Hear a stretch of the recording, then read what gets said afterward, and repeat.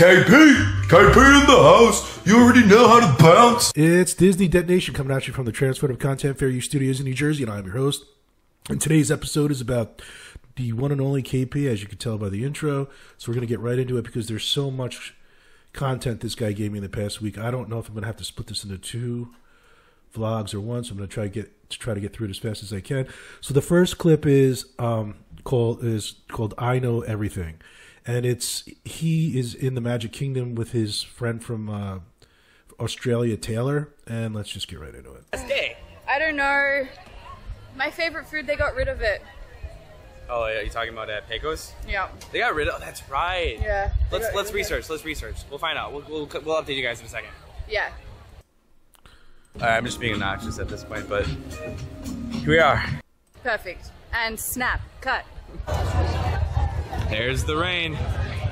The storm is a brewing. It's supposed to be here all night too, but hopefully it's it's not going to. be. They're actually clearing the stage right now. They're weather 101. You see that? So here he's saying that um, they're clearing the stage because there's inclement weather coming. Now listen to this. Well, it's the end of the French Friendship Fair. So the Oh, they're done? Yeah. Oh. Last one was at four. I knew that. Yeah. Of course. You're at the parks constantly, and you still don't know the, the schedule of the parades and the shows, and, and then he's going to somehow turn this on the on the viewers who call him out for it. I knew everything. Right. Everything. You know. You know nothing, nothing. Or at least you guys expect me to know everything. People don't expect you to know everything. They expect you to know the basics, which you don't know. And you and like for you to put this out there is like it's underscoring it. Like how do you not understand that? thing. I try to know everything, but you know, hey, I don't know everything. Who likes a know-it-all? Let's realistically. Nobody. Nobody. Nobody at all. Exactly. Nobody likes to know it all. But people like to know, you know, just the basics. Especially if you go there every day. Like, you know, I don't memorize the schedule when I go there, but I do look at it, you know, depending on where I am at the park to figure out how to how to get somewhere without hitting a crowd. You know, Taylor, you're supposed to know everything too, okay? Because you watch my vlogs daily. I sure do. Oh, this is great. You got us this guy in the blue hat behind them. Look at the look he gives them while they're vlogging. This is exactly what I was talking about when uh when, you know, when I tried to vlog at the um at the Spirit uh Halloween where people just like look at you like you're just you're just an asshole. I absolutely do. Right, you know what I do all the time. Yeah. And I'm the biggest fan. look who it is over there. Yeah, look who it is over there. Okay, so just to take it a step further with you know people expect him to know everything so at, he went to an event at the swan and dolphin the um, wine and food classic and he just he, he obviously was like it gets it's so much better he was invited to this thing and he wasn't going to go but then on a whim decided to go with the girl from um, australia taylor but at the end of his vlog he does this Oh, also, by the way, there's two menus. Night one and night two will have different menus. Not too much changes though. There'll be some additional offerings versus that they had on night one versus night two. So he he does a quick voiceover with canned footage of the, of of um of the swan and dolphin, and all you had to do was go on this website. Everything's here. Like it, it tells it, it shows you that there's two menus. Here's the menus. It, it, it actually shows you what they are at each different day. Um, not only that, but even I, I didn't know this either. There's all kinds of crazy experiences you can you can do that are in addition. Of course, there's extra fees to them. You can do these courses like craft cocktail courses. He mentions none of this. None of it. It's. I mean, come on, man. All right, it gets it. Let's just keep on rolling with this. So this next clip is him and Taylor as they're leaving the the wine and food classic from uh, just the Swan, and he doesn't remember the name of the event, so I stick it on his head. Uh, here, check it out. Well, Disney's newest food festival coming in November. Tickets and links will be down below, but I seriously enjoyed myself. That food was far superior than anything I've really kind of tried at a food event in a while. In a while. That was great. It was amazing. Anything? Tonight we're going to be experiencing a progressive dining experience but it's a media preview, and I think we might be going to seven total stops here around the Bonnet Creek properties. This whole event is brand new menus. It's a brand new fine dining experience called Epicurious. As you can see, I have a brand new KP bullshit meter that appears whenever he's bullshitting us. So yeah, so I stuck the logo on his head in the front, to, so maybe he'll remember it next time. And then I showed you that he just went to a similar event a couple of weeks ago, which he said he did not. So the next clip is called Target Hack. He's got to stop vlogging with gum in his mouth because it's it's it's freaking disgusting, man. I really like how empty Target is. It makes filming so much easier. Maybe I'm gonna wake up in the morning to come to Target. That's a plan. I'm gonna wake up early in the morning to go to Target to vlog. I think I want a little hack. It's definitely a little hack, a very little one. Okay, so here's the next one. I don't feel safe at malls. Mall. This isn't uh, Millenia Mall. This is a little bit different. Never really go to this one. There's been a lot of, least from what I heard, there's been a lot of like crime in this area, so I tend not to come over here. That's the thing with malls. I don't really feel safe, safe at malls. Is anybody here with me? I just like, uh, I, I'd rather go to Disney Springs. douche. D- Disney Springs is not a mall. It, it's it, uh, whatever. Okay, so the, the next one's called Signature Dining. quick even though this is quick service it's coming from a signature dining um, menu here amare and you can't really compete with that Again with Signature Dining. Is it Signature Dining like where they brought the food into the Vibes food truck? I mean, help me out here. Another crack observation by Professor KP. Is is was it exquisite pizza or fine dining pizza? I mean, it never ends. Yeah, I mean, I think the slap bar was what, like $19? So it does come with a mm-hmm. little bit of a bigger price tag, but you're getting something that is so much better And look at the eye roll here. I- i- Is it me or could he be any more condescending? like chicken tenders and french fries or Yeah. a burger. Mm-hmm. i can tell instantly once i put it in my mouth if it's gonna be a banger So now I've, on my quest to find out more information on quote, what signature dining is, this is the legal definition. a signature restaurant means a restaurant other than a quote unquote fast food chain. I mean, that's that's a that's the legal definition definition of signature dining, and they go into this whole legalese as to how they came up with it. We, I mean, like, stop saying signature. It's retard. It, it's silly.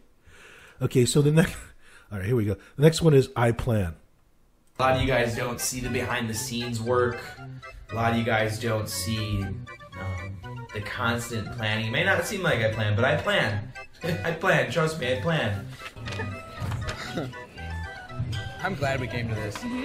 We almost didn't come because taylor was here and we're like ah because you know taylor wants to do disney but other than checking out the christmas merchandise i've got no idea what we're doing. I'm kind of just here with the gang and so every year they build a brand new set here a brand new house gingerbread house and this is the new one for this year. Learned that in our sketching figure out too how I'm gonna do some things because I actually don't really know ultimately what I want to do. Usually when I do this, I kind of just vibe it out. We'll get some details, and then we're kind of going in blind, but I did a little research. It's time for Amare breakfast. It closes at 11, but then a la carte continues until 11:45. This is actually a buffet breakfast, so all right. Well, second guess this. Um, I guess we just missed our window.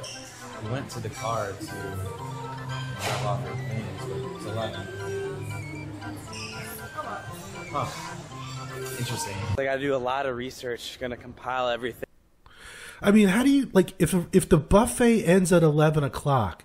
So you're gonna go there at the exact end of it while they're trying to break it down, and you, I mean, like what? I mean, it, um, it's it's amazing, and then the whole thing with the uh, with the haunted mansion in Disneyland th- that they've been making that that gingerbread house in the ballroom hall since the ride start since they started doing the uh, overlay.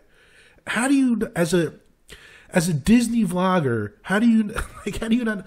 Oh my god! So, so I found actually I found one of um, one of uh, Kalo Pilo Palo's uh, his uh, his plans, his you know his his research plan for the his well researched plan for the um to go into the parks.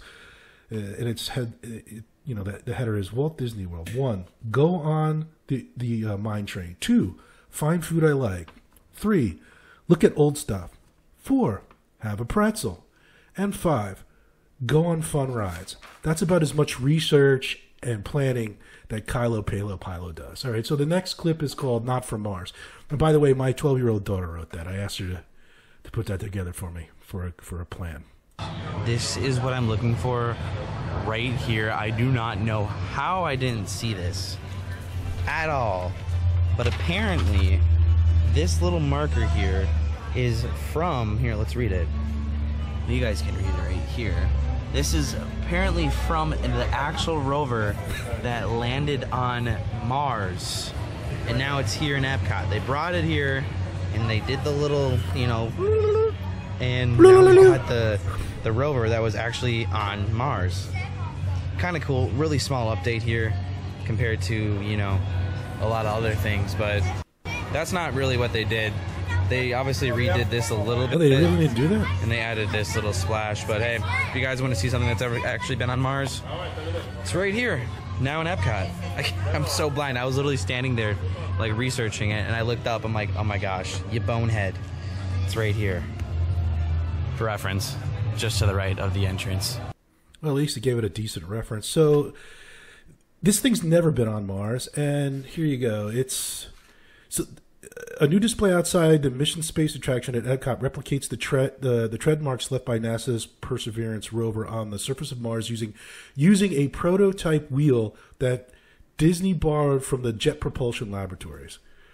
Walt Disney Imagineering and NASA combined the magic of space and Disney to update an in-park display recreating the surface of Mars in Mission Space. Now, like, what about this is from Mars? Except the prototype wheel that was never went that never went to Mars.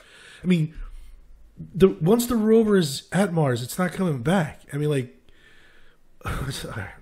let's keep let's move on. So the next uh, clip is called "I Don't Like It, But I Like It." Number one could be number two or whatever. I don't like crab, but I like But this? not now, Vermont. I don't like Reubens either, but I like this Reuben. I think the lamb is my new favorite. Surprisingly, that was delicious. It's so good. Oh my gosh, this is the new winner. This is the new winner. It's paired with spicy pear, Oh and the pear works so well. The pear is so good. Okay. okay, the next clip is called Disney Food is McDonald's. I can't get over how good it smells here, but just looking at this food and how precise and amazing it looks. How precise. this is definitely going to be a huge upgrade from Disney World's Food and Wine. No, no, again, no offense to Disney's Food and Wine, but these are obviously executive chefs. They're people who know food, and yeah. Here's the thing, guys. Last time Casey and I were here, it's the same thing. We have the same opinion. This is way better than Disney food. It is upscaled. This is really good. This is really good. It makes Food and Wine just look like McDonald's. I'm like, oh my gosh, you bonehead. I mean, the so Disney doesn't have executive chefs. I mean, like what? It's the, each each of the food booths. All right, I just can't. All right, so the next the next clip is called Yum. Wow.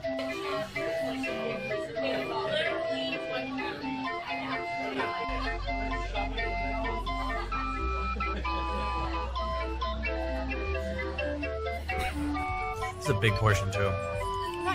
Mm. Oh my gosh. Oh my gosh. Is it spicy? Good. Oh my gosh. Oh And the my. pear works so well. Oh my gosh. Here you are. Catch. This is the equivalent of his assessment of, of the food he's eating. It's Food Review by K. Technically, this is like one of the signature dining opportunities here. All right. So the next, the next, the next clip is called "Tale of the Vegetarian." So the rest of this is just going to be like satire. So he went to this, um, this the the the, the event at the at the Swan Reserve with this girl who's a vegetarian, and he brings back to the table lamb. Now I, I don't know how many of you have vegetarian friends. I've I have a couple of my vegan friends. Lamb is not is like one of the biggest no nos is is if you're a vegetarian. Is if or that you are a vegetarian. Okay, we've got some smoked American lamb here this time. Don't mind if I do. Now, this is another one that Taylor cannot have. Please, Kyle. I thought you loved me. Vegetarian, vegetarian, so I'm gonna grab one. Lamb, Thank you. Let's give it a roll. I'm gonna Lamb and veal. Not. I mean, you can even look at the look on her face at the very end of that. She does not look happy about it. So, the next clip is called "Knock Knock, I'm a Dope." It's Halloween, so it's like you know Halloween Town, but it's Flavor Town. it's Flavor Town today. I mean, it's like it's like the like the the jokes that are told at a kindergarten table at snack time. Okay, so the next the next video is called uh, so so the the troll patrol guy like a lot of what he was doing initially like I was gonna kind of do it the way he's doing it where you just put clips up and then you p- do voiceover. But I figured if I'm going to do this, then I'm, I should put my face to it. Otherwise, you know, but that, that's just my feeling. So, so it turns out that the troll patrol guy is not actually a guy; it's a squirrel. I did that. Hey, squirrel. Go away. Leave Where's me alone. Where's Don't that you have a signature Wanna restaurant to go Aw, to? escorting us to the hole. Or some other grift Thanks, to perform? buddy. Help Thanks. Oh me. Get this so madman away from me. Help. All right. So the next clip is called "KP and the Duck." We've made it to Target, and there are these uh, big Oh no, ducks here. you are the one the squirrel Yeah, told us right over there. Does about. anybody know what these are? Looks like someone's been I watching this is an Disney Detonation. Of Florida. I don't know. Nice job figuring like out what type that of duck I am. Is very Next time, maybe you could give Maybe us this, some bread know. or something us ducks Well, like there's to a eat. crap ton over here. Yes, those are my friends I'm over unsure. there. They don't like you either. This duck is huge. Now get lost. and I'm going to continue to do that. I mean, I don't care if it's it's you know biting or stealing some of the guy's ideas. I think it's I think it's hilarious, and I think he's doing a, a pretty fun, a pretty good job too. So kudos to him. So the next clip is the grammar police noticing mistakes no one wants to care about, and here we go. Let's get right into it. Definitely, if you want a hotel that doesn't feel like you're at Disney World, like it gets you a little escape when you go from the parks to your hotel, this is it. Yeah, here's clip number two. Oh, that is so cute. It is a good life. It is a good life, especially today. Please take note. The correct enunciation is especially. All right, so that's the end of this episode today. Um, I will be coming up with more. Uh, the next, I think I want to do one on the WDW guy. He recently came out with a, a, a not recently, but a podcast about other the other Disney vloggers. And boy, I thought he really was kind of a I want to just say jerk to everyone, but anyway. And transmission. Uh, that's ridiculous, Mo. And transmission.